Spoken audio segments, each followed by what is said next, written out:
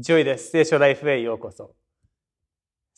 聖書ライフでは、聖書を通してイエス様に出会い、イエス様の命を体験したい。そのような意味で、一章一章をしっかり見ていって、どのようなことが書いてあるか、神様の大きなストーリーにどのようにつながっているかを考えていっています。聖書はただのルールブックだけではありません。イエス様がヨハネの5章でこのように言いました。聖書は私について証ししているものです。聖書を読んでイエス様に出会っていきたいです。前回は第2サムエル記を見ました。第2サムエル記ではダビデの失敗、ダビデの勝利、個人的な成功、家族の崩壊、いろんな問題も含めて見ました。ダビデが犯した罪またその罪の爪痕がどのように影響していったかそれがどうやって次の世代へも続いていったか見ました。今回は第一列王記を見ていきたいです。第一列王記まで来ると少し難しくなっていくような気がするけど第一第二列王記の書かれた理由を理解すると内容も少し分かりやすくなります。第一列王記と第二列王記が書かれたのはバビロン捕虜の後。後で見ていきますけどイスラエルが罪のために散りばめられた。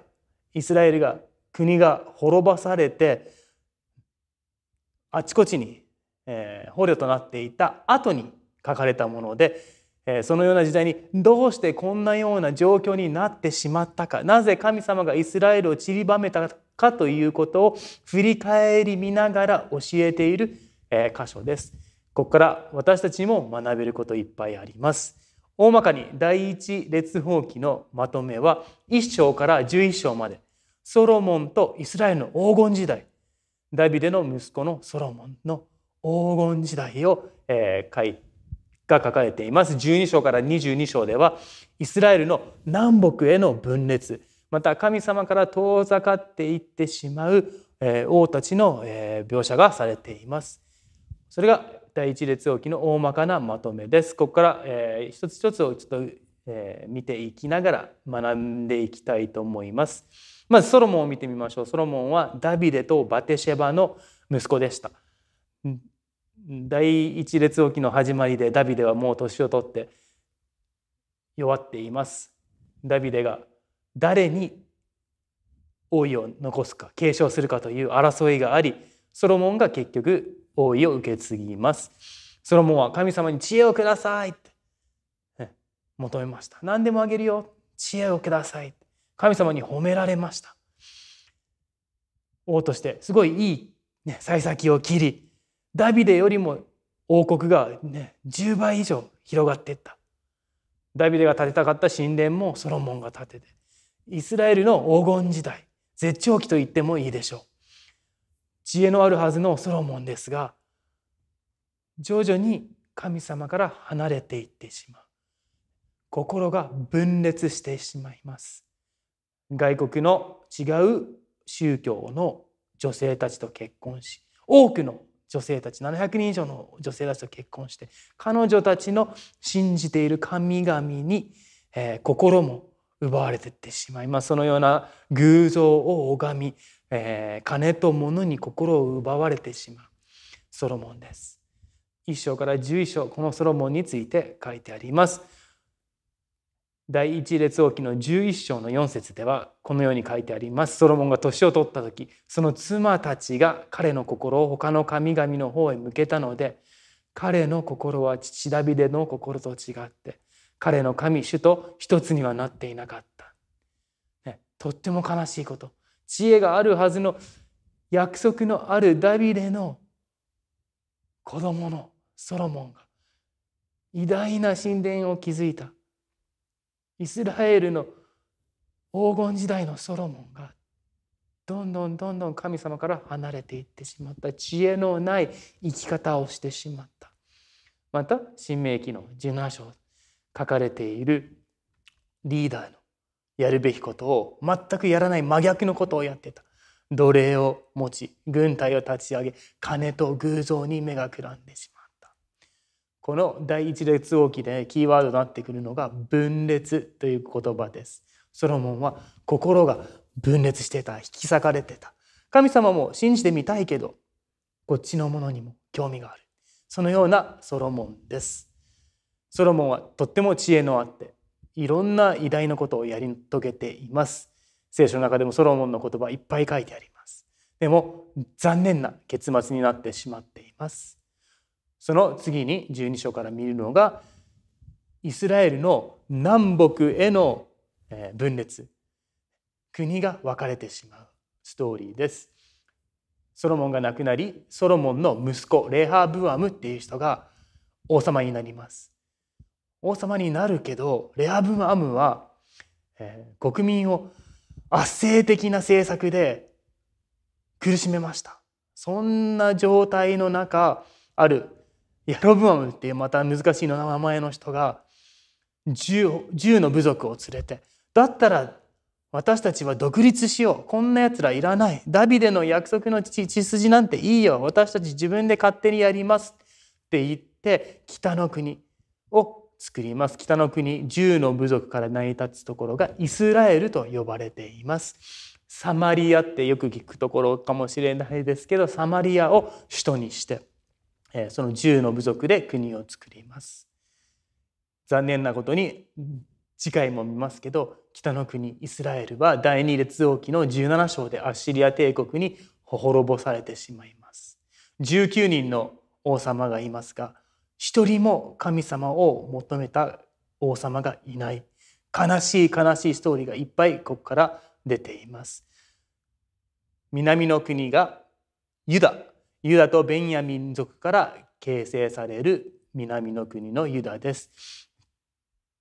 第二列王記の25章まで耐えますがバビロン帝国によって占領され滅ぼされバビロン捕虜となります20人の王がいますけどそのうち8人たったの8人しか神様を求めなかった、えー、ユダの国です南北の分裂がありましたソロモンの心の分裂えイスラエルの12の部族が分裂して南北に分かれてしまったえストーリーです。それだけではなく王様たちも分裂しています。今も言ったようにいい王様神様を求めている王様と全く求めてない王様たちがいました。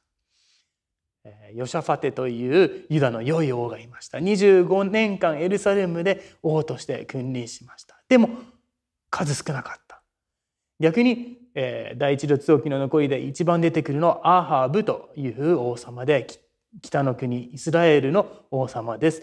彼は、えー、前の誰のどの王よりも主の前で悪いことを行ってきたっていうふうに書かれてる。どんな前の王様より悪いことをやってきたアーブでした。第一列王記の16章の31節から33節を見るとこの人は罪のうちに歩むことは軽いこともうそんなこと簡単にできるよいうような人で妻イザベルの神々を拝んでそれらに仕えたっていうふうに悲しいことが書いてあります。そういうような悪い王たちと比較して反対側に神様が預言者たちを立ち上げます。ここで、えー、エリアという超メジャーな、えー、聖書のヒーローのエリアが出てきます。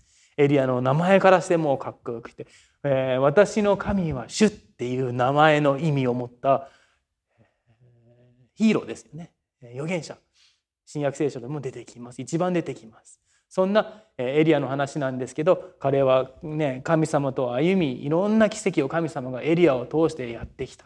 すごいユニークなエリアです。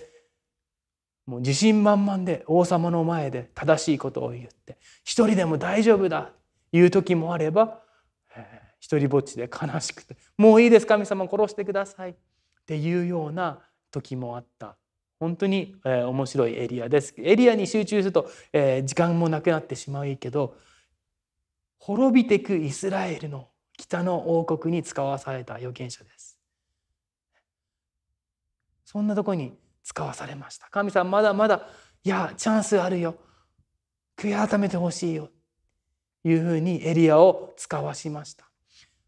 干ばつを予言したため、えーアハブとイザベルに命を狙われ続けますカラスに食事を持ってきてもらったり異国の未亡人の家に居候させられたり400人のアシュラの預言者また450人のバールの預言者たちと1対850の戦い争い決闘をするかっこいいシーンだったりもあります。ね、大変な人生だったと思う。でもとりあえずエリアはすごい人すごい人。でもエリアに集中しすぎると第一列王記の大きなストーリーの流れ見失ってしまうので、えー、もうここでは、えー、あんまり、えー、具体的な話は、えー、置いといて、えー、次回も第二列王記で少しエリアの、えー、ストーリーも触れたいと思います。ここで、えー、第一列王記から学べることって分裂した心分裂ソロモンみたいに分裂した心。いや私奥さん一人しかいないよ。だから大丈夫だよ。思うかもしれない。でも私たちみんなすぐ何か違うものを見てああれ欲しい。これ欲しい。あれもいいな。神様から目を離してしまう。でもこの第一列王記から学べることは不信仰。信仰のない生き方は神様の計画ではない。イエス様もマタイの6章の、えー、どっかでねすごい有名なところで誰も2人の主人に仕えることはできません。一方に組んで他方を愛してしまうから。富と金神には仕えることができませんって言ってます。そのままそのように富と金まあね女性と神。どっちにも心が引っ張られてしまった。私たちも同じように引っ張られてしまうことはあります。世の中引っ張るのうまいです。私たちの心ああああ気づいたらあっちの可愛い子にお金に物に成功に引っ張られてしまう。でもそれ神様の計画じゃないです。信仰に生きた満ちた生き方ではないですよ。いうことを学べます。もう一つ学べることはどんなにソロモンみたいに成功していても偶像礼拝と妥協によりすぐ衰退して滅亡へと向かっていきます。ここ数回同じようなテーマ見てます。偶像礼拝と霊的な妥協っていうのはたやすいことじゃない。大きな結果がついてくるものです。私たちも偶像礼拝いやそんなことやってないよと思うかもしれないけど心に神様以外のもの何を置いてますか？どのような妥協していますか？自分にと問うチャンスだと思います。3つ目ここから分かるのが神様の大きな愛です。もう滅ぼされる前提のいいリーダーが全くいないこの北の国のイスラエルに何人も何人も預言者を送ります。聖書の中で多分一番かっこいいエリアを送る。国が変わんないよ。もうこの人たちダメだよっていうのに、いや、私まだ愛してるからチャンスあげたい。彼らを悔い改めために導きたい。辛い、険しい道を歩んでほしくないから、愛してるから悔い改めて。預言者たちを使わす。これは神様の大きな大きな愛のほか何でもありません。神様は私たちにも精霊を通して、仲間を通して、教会を通して、御言葉を通して語ってくれます。そんな生き方しないでほしいですよ。今がチャンス、今日がチャンス、悔い改めなさい。イエス様のところいつでも戻ってこれるよということを学べます。分裂した心、とってもたやすくたどり着くことができます。でもそんな中でも神様が愛して呼び戻してくれていることを絶対忘れないでください。福音のメッセージは私たちが何もしてない時に神様が私たちのことを愛してくれた。それが福音のメッセージです。そのイエス様に旧約聖書を通しても出会っていってほしいです。イエス様に出会い、イエス様に従い、私たちの人生、心をイエスの方に向けていきましょう。次回は第2列王記を見ていきます。エリアのストーリーの続き。また、えー、分裂した北のイスラエル、南のユダがどうなったか、どうなるかというところをえ次回見ていきます。それまでイエス様と信仰により分裂した心を持たないで歩み続けてください。ではまた次回それまで皆さんの祝福のために祈ってます。さようなら。